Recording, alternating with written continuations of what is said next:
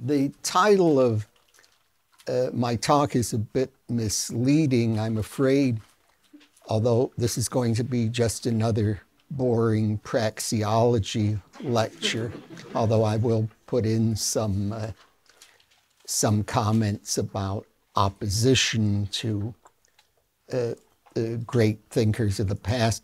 Uh, Sandy Klein reminded me that I should mention this point that some of you may wonder uh, when you learn about praxeology, well, it's all rather abstract. Uh, what can I do if I've learned praxeology? What, what is a good thing to do? Well, one thing you can do with it, you can always open a praxeology shop. now, uh, what I want to do is, uh, I'm also the lectures in mis- the title of the lecture is misleading in this way that uh, it's a 10 men who made the West. Uh, at my glacial pace, I'll be lucky to get through three or four. uh, the uh, people I'm going to be talking about are all falling to the category of dead white males. in in uh, recent times, there's been a movement that uh, says this is we shouldn't concentrate on uh, dead white males. This is uh, racist or sexist. And there have been uh, serious proposals by people to uh, either get rid of these thinkers or to uh, at least add other thinkers who don't fall into this, these categories. Uh, if we take the phrase dead white males, uh, Bob Nozick objected to that. He said the part of dead white males, uh, protests against dead white males that bothered him the most was the reference to dead people. He said it's really not fair to attack those who can't fight back. now, the first one I want to talk about is the great uh, Greek philosopher Aristotle, who lived from 384 to 322 BC. And one of the uh, most important of his discoveries uh, had to do with logic. Uh, Aristotle is one is really the person who first systematized the rules of deductive reasoning, especially syllogistic reasoning. A syllogism is something like all men are mortal, Socrates was a man, therefore Socrates is mortal. Uh, there were other Greeks who worked on other types of logic, such as the Stoics worked on various kinds of hypothetical reasoning. But Aristotle was the main one who systematized deductive reasoning. And I'd like to, one point, as you will learn by now, deductive reasoning is the way we reason in praxeology. And I think that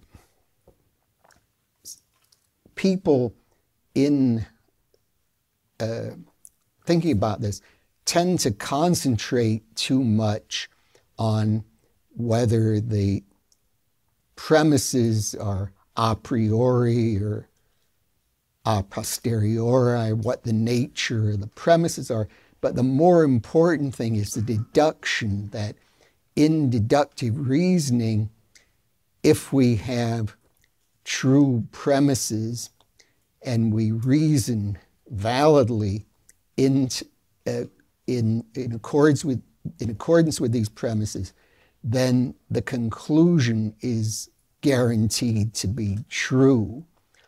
Uh, if we have a valid argument, which means one that follows the rules of deducts, deductive inference, and the premises are true, that's called a sound argument. So all uh, all sound arguments are valid, but we can have valid arguments with that aren't sound that have at least one false premise.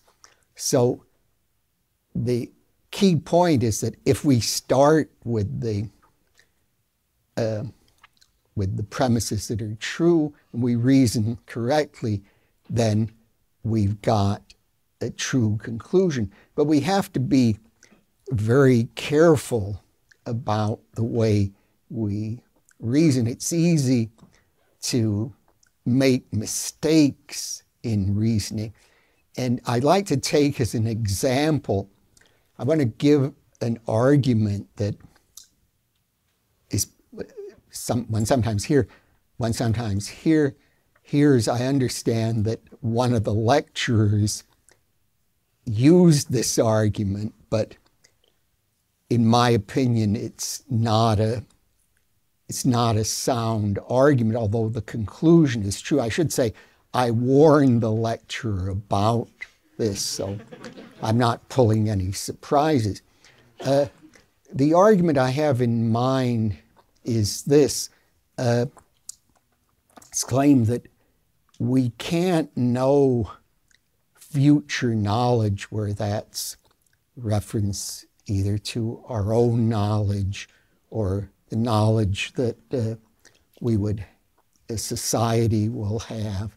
We can't know future knowledge because if we did know the future knowledge, then it wouldn't be future knowledge. We would know it now. So it's a contradiction to say we could know future knowledge. Now, uh, how many of you would be inclined to say that's a sound argument? Oh, eh, how many would think there are problems with it? oh, well, uh, uh, does anyone have any idea what the problem might be, or anybody want to try anything? Uh, Quantifier shift fallacy.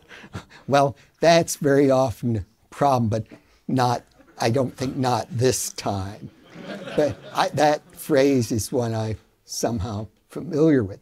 Well, I think now, one thing we have to be clear about, I think the conclusion that uh, we don't know what our knowledge is going to be in the future is very likely true. People are coming up with all sorts of new inventions and other developments that people didn't predict, and it seems very unlikely that people would be able to predict all the new developments. But the pointed issue is not whether the conclusion is true, but whether this argument is correct. Now, to see what I is wrong with it, I think we have to distinguish two meanings of future knowledge.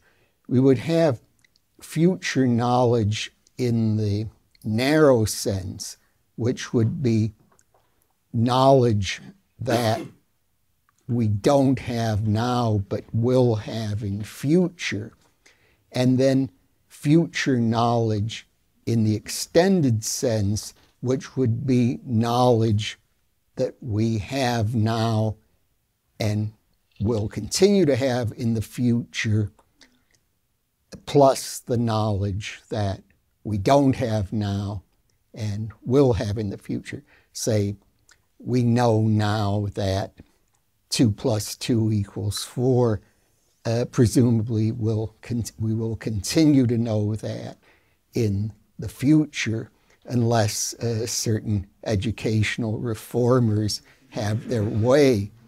So we have to distinguish these two categories. Now, if we take knowledge in the in the strict sense of knowledge we don't know now but will know in the future, then of course it's true that we don't know future knowledge now because we simply define future knowledge as knowledge we don't know now. So it must be the case we don't know future knowledge.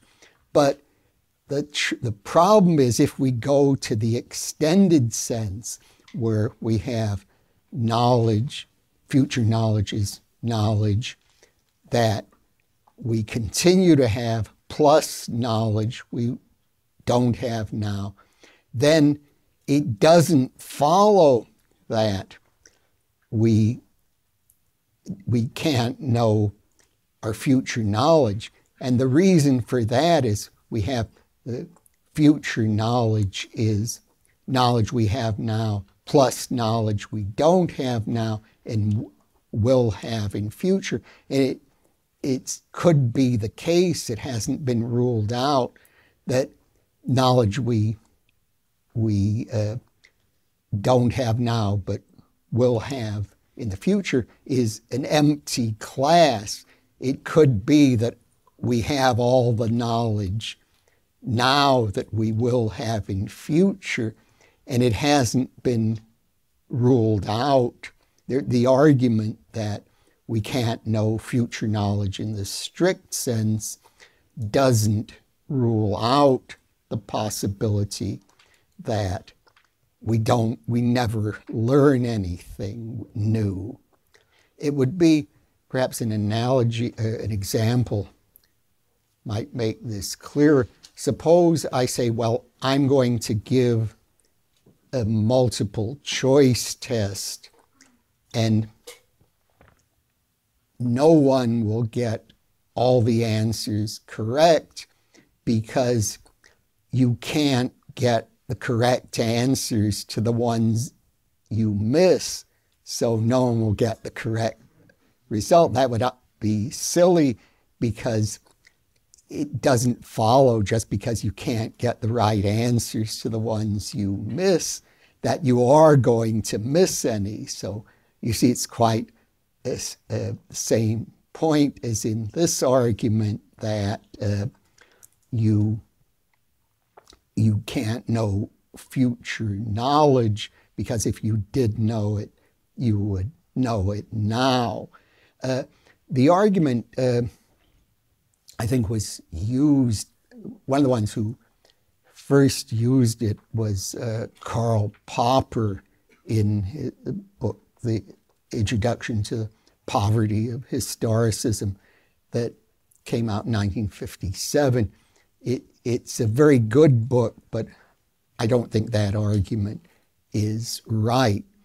So, as I say, uh, Aristotle systematized logic, and we have to be very careful the way we use uh, logic. Now, another point at which Aristotle made a major contribution, in one relevant to praxeology, is in the notion of action, which is the key concept in praxeology, action is the use of means to achieve ends. Aristotle has this idea that this is the way he, he analyzes human behavior, that he has this clear teleological structure of action. And he used this notion of ends or goals as a way of developing a uh, system of ethics. And I, the key idea, or one of the key ideas, in understanding Aristotle's ethics, uh, we could get at in this way.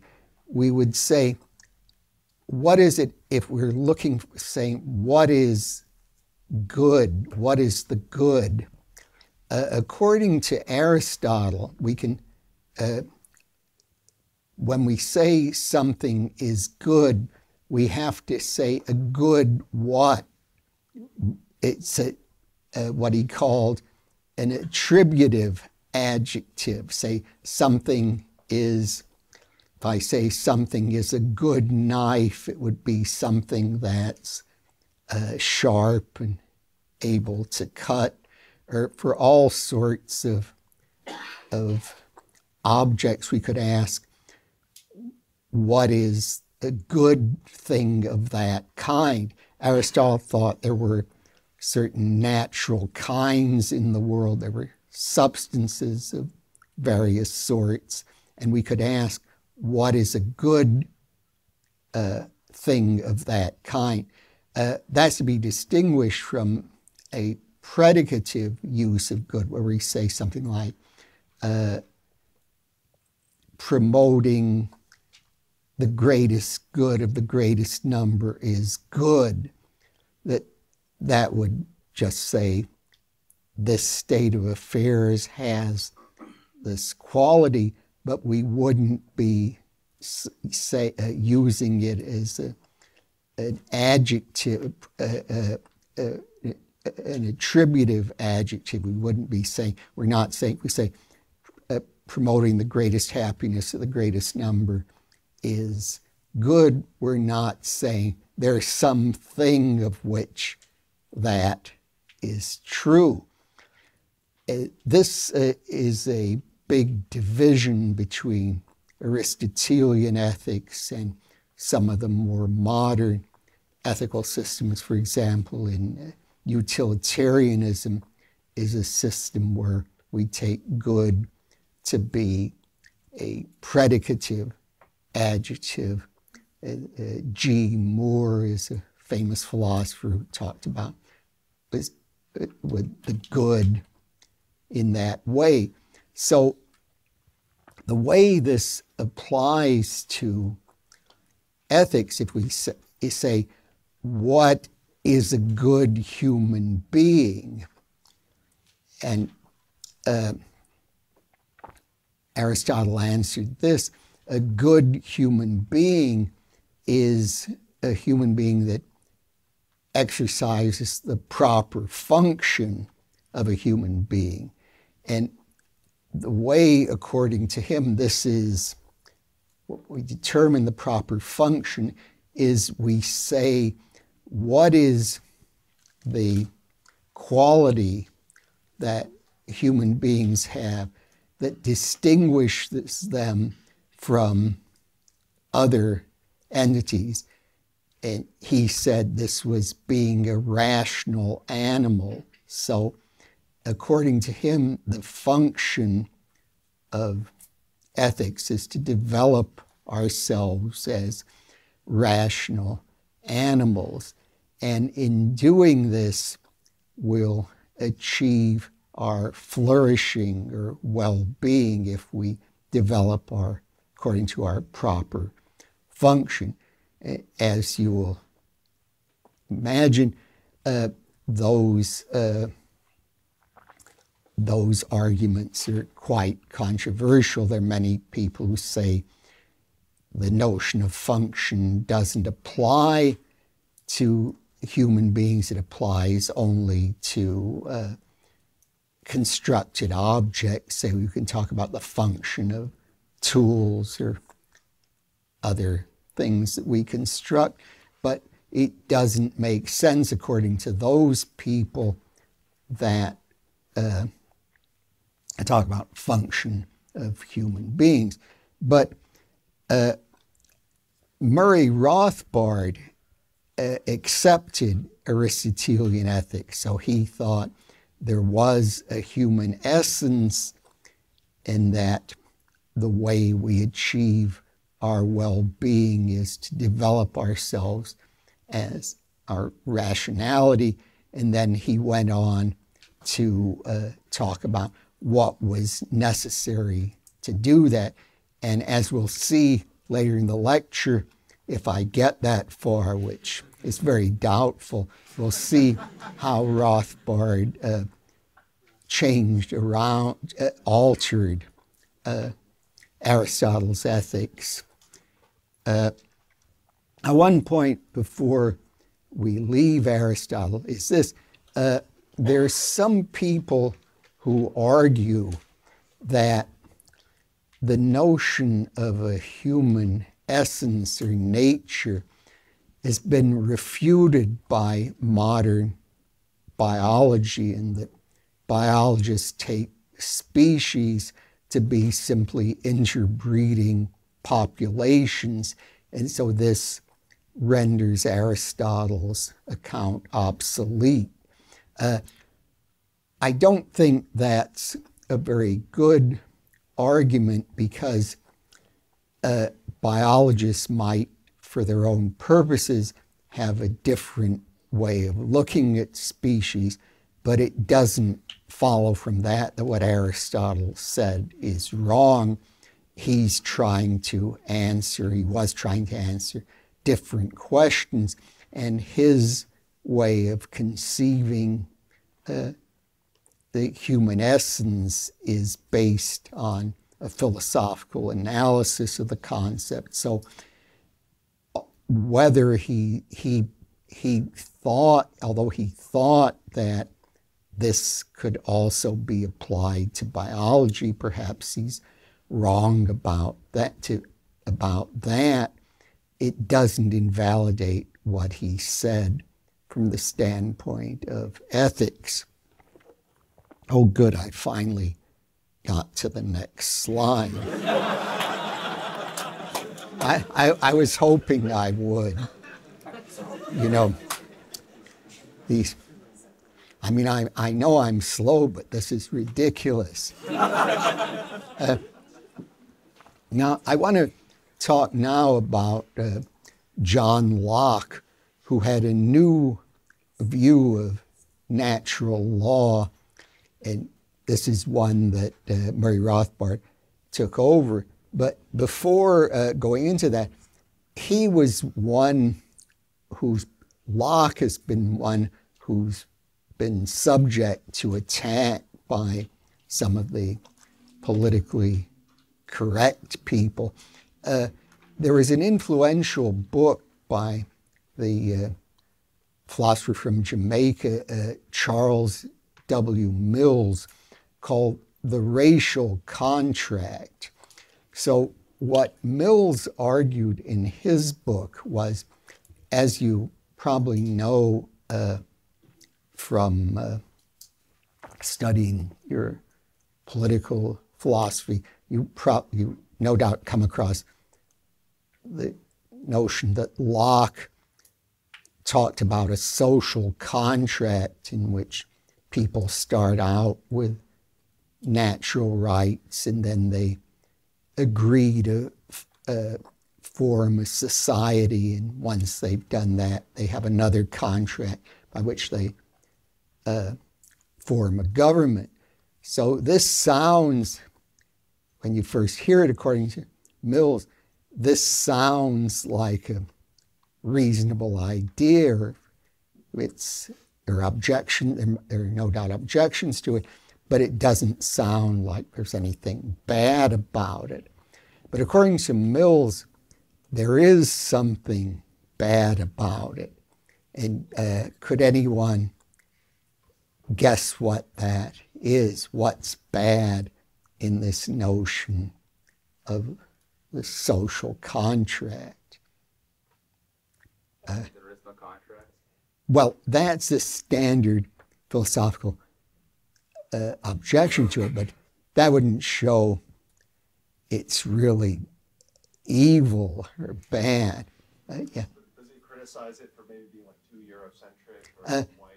Or... Yeah, yes, you're on the right track there. What he says is this contract is based on a prior contract, which is this, the uh, notion of contract, really applies only to white men. And the prior contract is to exclude people of other races, especially blacks, from, from society. So he says, well, this is assuming that the whole notion of a social contract, the purpose of it is to justify enslaving people of other races or enslaving blacks. And he uh, adduces in support that uh, Locke invested in uh, companies that uh, participated in the slave trade, and he uh, wrote a constitution for one of the colonies that uh, talked about what they should do in, uh, on slave plantation. What I would say there is that may well show inconsistencies in Locke's personal behavior, but it doesn't show anything wrong with the notion of the social contract. And uh, it certainly seems a legitimate question to ask what rights people have in the based on a social contract. Also, a problem with Mills's argument is that there are a number of places where Locke explicitly condemns slavery for anybody except for he, he allows cases where people are taken prisoner in war and then uh, become enslaved uh, in return for not being killed. That's something found in Hobbes as well. So there really isn't any textual evidence for what Mills said. But regardless of whether uh, Mills is correct, uh, I think we have to look at what is this new version of natural law that uh, Locke pioneered and that Murray Rothbard accepted. And the new version has to do with the political philosophy. In Aristotle's Ethics, uh, once he's got this notion of flourishing, he says that we start off with families, and then the families get together and form a city or a polis. And he says they come, they, the purpose of the city is to promote virtue. So in the, in the city, the government would be taking a very active role of promoting virtue, say, would require people to worship the gods of the city, and it would be very much a closed community. And Locke said, no, this is wrong. Each individual should be regarded as having rights independent of society. We start off with individual rights holders, and each person owns himself or herself. Each person is a self owner, and also, since each person is a self owner, if there, if since resources uh, start off not owned by anyone. Each person can acquire resources by what he called mixing his labor with the resources. That's metaphorical expression, means uh, doing something, appropriating them, doing something to uh, fence them off from other people. Of course, what the you have to do to acquire resources is not something that's really specified. It would have to be dependent on particular societies. And if the question comes up, why, if there are all these resources around, why do individuals have a right to take them? One of the arguments Locke gave is that once we have money introduced into an economy, it's not the case that if one person appropriates certain resources, that leaves fewer resources for other people to appropriate. They won't have a chance to appropriate anything because the once money exists, it multiplies the available resources to people. So it no longer is a, a constant sum game where one person's acquisition is at the expense of everybody else's. So this modification of natural law was one that Rothbard accepted. Uh, I should mention there's one interpretation of Locke which is, was uh,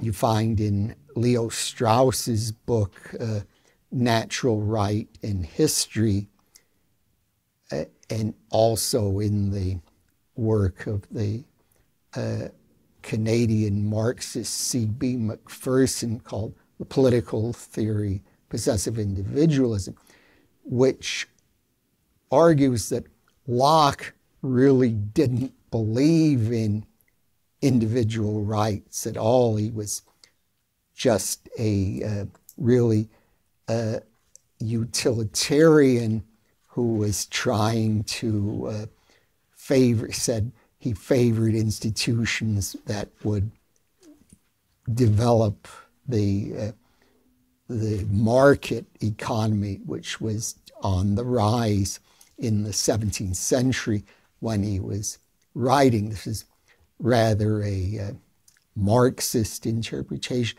It might be surprising that uh, Leo Strauss favored this view since Strauss is generally viewed as a right wing or conservative figure. But in fact, when uh, uh, Strauss was really following the ideas of the British socialist, not a Marxist, but British socialist, uh, R.H. Tawney, Richard Henry Tawney, who had this view that, uh, that the individualism of the incipient market economy displaced the more communal property that had been present early. So Strauss was was friends with Tawney, and he was viewed as he was uh, uh, really, in that respect, a disciple of him. I remember when uh, I mentioned to my great teacher Walter Starkie, who knew practically everyone important in uh, in England from the 1920s through the 1950s. I mentioned uh, Leo Strauss. He says, Oh, yes, yes, he was a friend of Tawney. So that was how he immediately identified him. So, as I say, that's an interpretation of Locke, but I don't think it's very plausible. It depends on Strauss's method was really very often involved saying, uh, the author of a particular text doesn't mean what he appears to mean on the surface. There's a hidden or esoteric meaning that one has to dig out. And this usually involves uh, denying what the author appears to be asserting. Seems like way you could really uh, you could really say that an author uh, favors whatever you want him to favor. You just say there's evidence against it from the text. Well, the text doesn't really mean that. Doesn't sound like a very good idea, although I suppose it has its point, it points in its favor if you want to really argue for something. It's a bit underhanded, but for some people that isn't uh, that isn't a problem. Might actually be a virtue.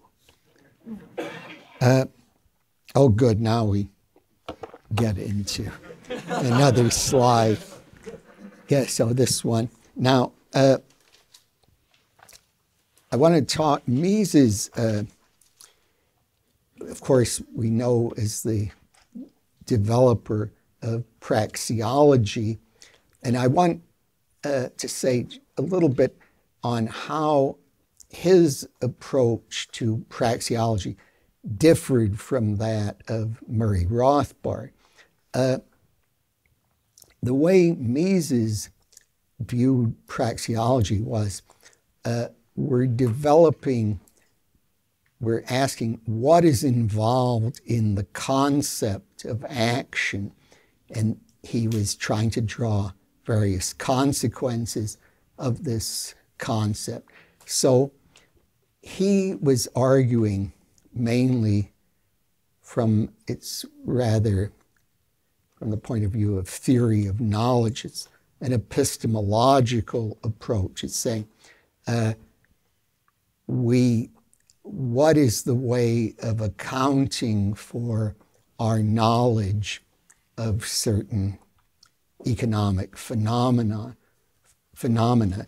So he would say uh, supposing we're trying to understand money say we see people exchanging objects for paper money or checks or other uh, types of financial transaction. He said, unless we had the concept of money, we wouldn't be able to understand what was going on. We would just see people passing uh, passing pieces of paper. We wouldn't understand this. So, in Mises' view, we need certain concepts in order to make sense of what is going on in the economy. And uh,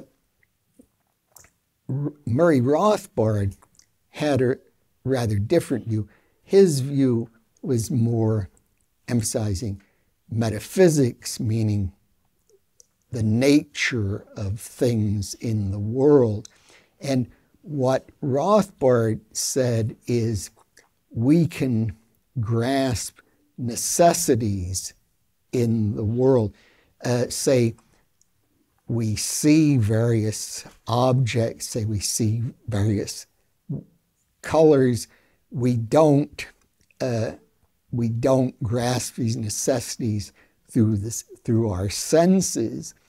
Say if we say, I see that uh, something is green like my face.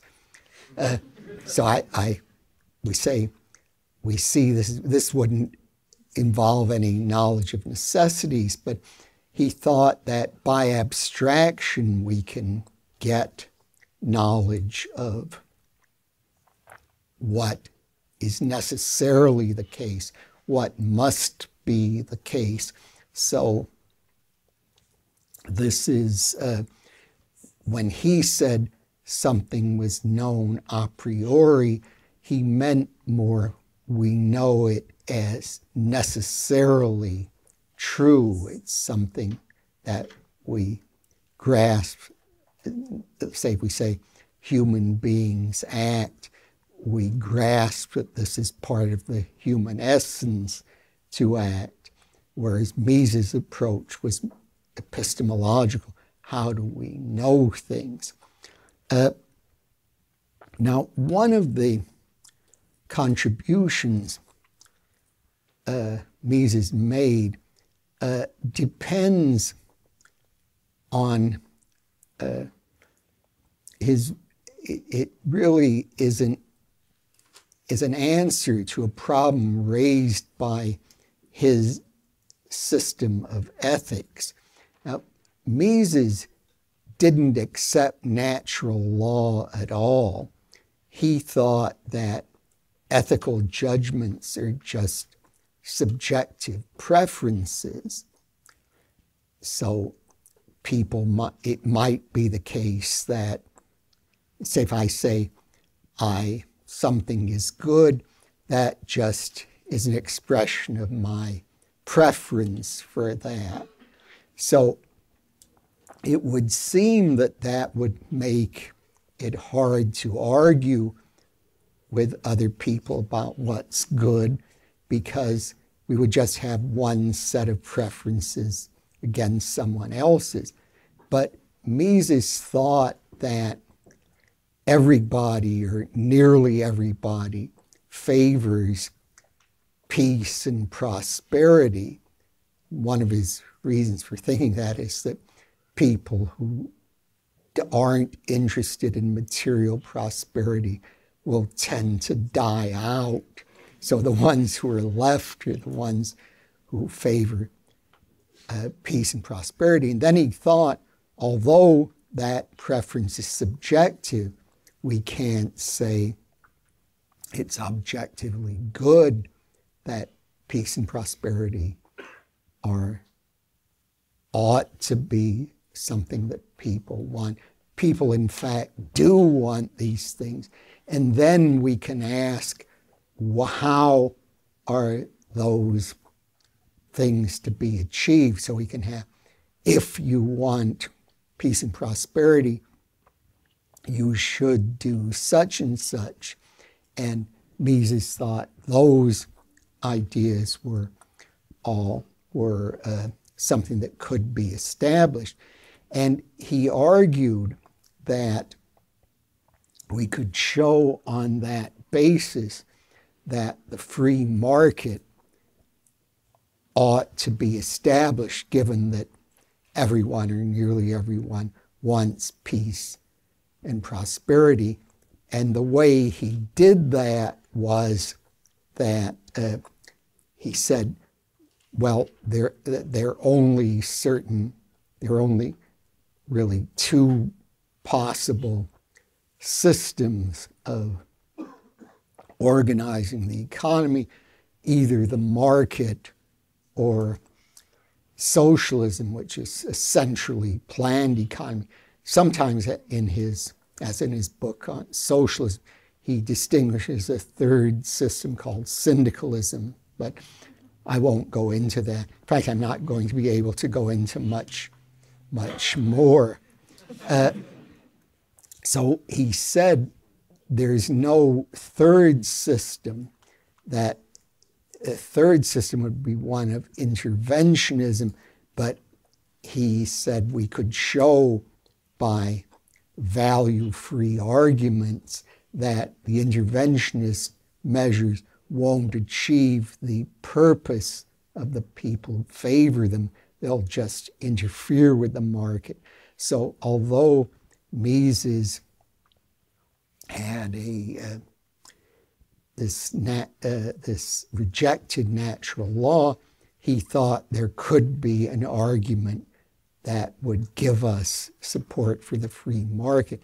Uh, Rothbard didn't ex- thought that there was a great deal in Mises' points, but he thought that we needed natural law as well, that he thought uh, Mises' arguments against natural law were not correct.